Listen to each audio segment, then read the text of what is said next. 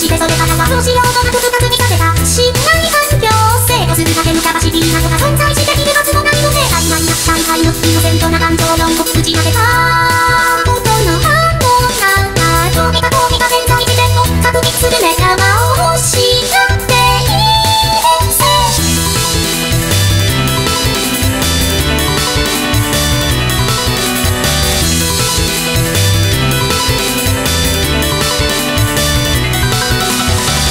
娘の毎日こうしてああしてこうしてさよなら人生現実と不死と現実と義務と一旦のこの心臓どこか見いことないかななんて裏返しを自分にどうぞ自問自答自問だどうかも自己連れたしああただ本能的にくれちゃってでも言いたいことってないんでないんでさばってあえて天にも求め口になってどうにもこうにもみっもさっちもあっちもこっちも言います